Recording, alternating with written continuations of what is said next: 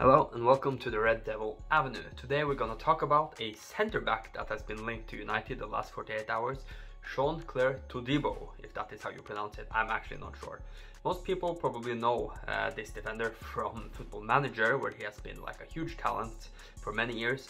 But he's, in fact, he's much more than just a Football Manager talent. So in this video, we're gonna compare him to uh, Rafael Varane and uh, Lisandro Martinez and see what kind of defender would we actually get uh, in Todibo were he to sign for us. So Todibo is a 23 year old uh, defender uh, from uh, Nice in France, uh, French League 1 and he has been there for a couple of years. Uh, he has played for Barcelona and he has really developed a name for himself in Europe. As of right now there are no concrete talks or any bids gone in for the player but Manchester United has requested to get information regarding uh, any conditions that would like be important if there were to be more concrete talks later. Uh, the potential signing of Todibo will also be uh, very reliant on if Harry Maguire were to leave, which uh, is very um, very likely after the news that come out today that West Ham has put in a 60 million pound bid for uh, Scott McTominay and Harry Maguire in the combined uh, purchase. So if that were the case, that uh, Maguire actually leaves, I think Todibo is going to be a very viable option for us. But why is he actually and even an option for Ten Hag and would he fit the playstyle that we are uh, that we want to play? That is what you're gonna look into right now. If Todibo comes in, he will most likely be um, be seen as a competitor for Varane on uh, for that right centre back spot. I don't think anyone would argue that Lisandro Martinez has made that left centre back uh, spot uh, for uh, like uh, his uh, like for his position. Uh, so I think it would be like to compete with Varane, and I think that he could even like be able to break into the first team. Because Varane, he's been good, but I've already seen people trying to like say that he needs to be upgraded. I don't really agree that he himself needs to be upgraded, but I think like having some like healthy competition is very good anyway. So let's look at numbers. Ten Hag wants to have a centre back who is able to play high up the pitch and press very early when the opposition have the ball. And he also need them to be quick so he can cover the pace behind uh, in case that the ball over the top comes. Um, so if we look at the numbers, uh, when you look at the pure passing stats, uh, Todibo is actually in the 88 percentile, 88 percentile of the defenders in Europe when it comes to passing accuracy. He has uh, 68 passes per 90 minutes, uh, while Martinez has 86 percentile with uh, 67 passes per 90 minutes, and Varane is in the 49 percentage with 52 passes per 90 minutes.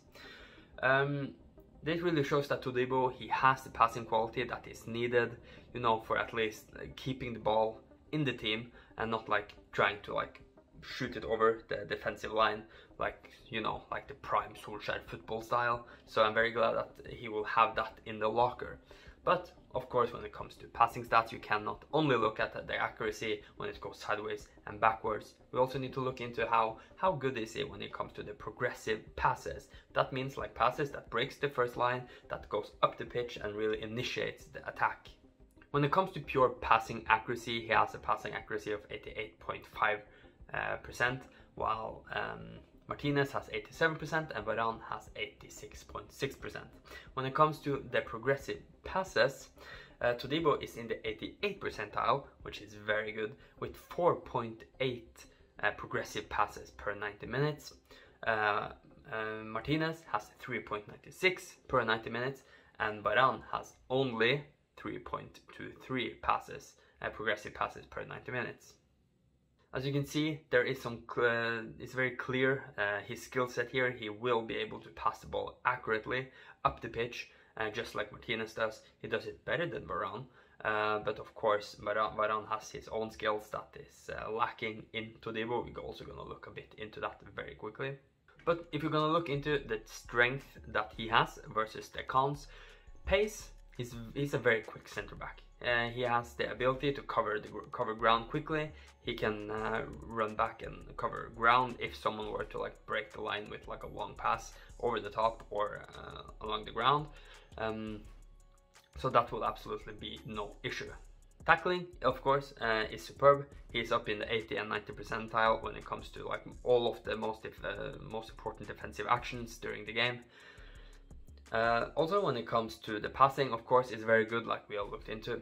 When it comes to uh, uh, his cons, what's well, not that good, it might not be very important because when it comes to like a defender, the most important thing is of course to keep the clean sheets. But when it comes to like actually providing goals and assists, he's actually one of the worst when it comes to well, at least uh, among the defend the defenders in Europe. Uh, his expected uh, goals is 0.03 uh, per 90 minutes and his expected assist is 0.01 per 90 minutes which means that he is in both of these two he is in the bottom uh, 15 or 20 percentile He's also a bit on the weaker side when it comes to his aerial uh, duels. He's a very tall player, he's very strong, and therefore it surprises me that he is not uh, better with his uh, aerial duels than he actually is.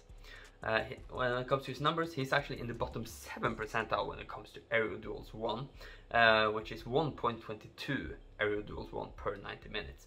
Uh, to compare it with Varane, he has 2.22 per 90 minutes, and even Martinez, who is 15 centimeters smaller than him, um, has actually 1.27 uh, heady aerial duels won per 90 minutes, which actually a little bit better than Todibo. By looking at these numbers, we will of course not get the whole picture of what kind of player Jean-Claude Todibo is, but it will give us like an indication of what kind of player we will be getting in this player. He's a strong, he's quick, uh, his tackling is great, his, his pace is very decent, and his passing passing ability is also amazing.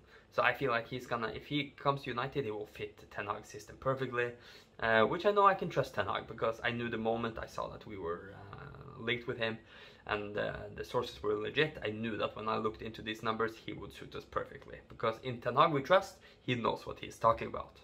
So, thanks for watching. If you like this kind of content, please give me a like and subscribe on the YouTube channel. And until uh, next time, see you then.